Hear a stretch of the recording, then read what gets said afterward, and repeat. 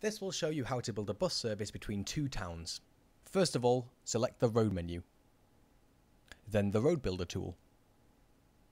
Draw a line with one finger.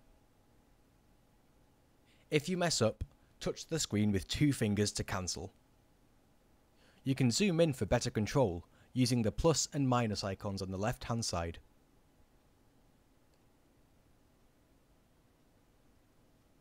Drag the map with two fingers whilst building to look around.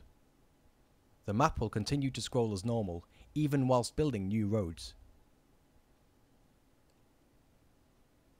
Select the bus station tool to place a new station. You can choose the orientation of the station.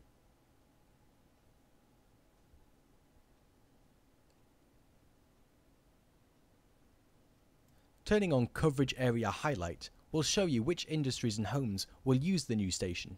Try to cover as many buildings as possible. Build a vehicle depot to buy and service vehicles.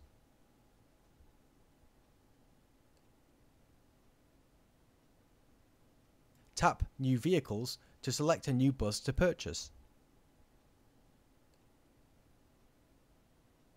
Clicking the arrow will open the vehicle's orders.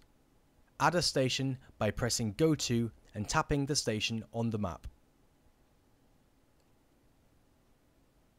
Simply do this for each station on the vehicle's route.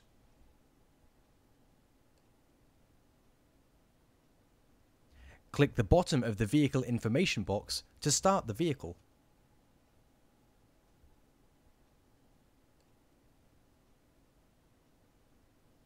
Pressing Clone Vehicles will make duplicates of vehicles when you tap on them. Pressing the green light will start all the vehicles in the depot.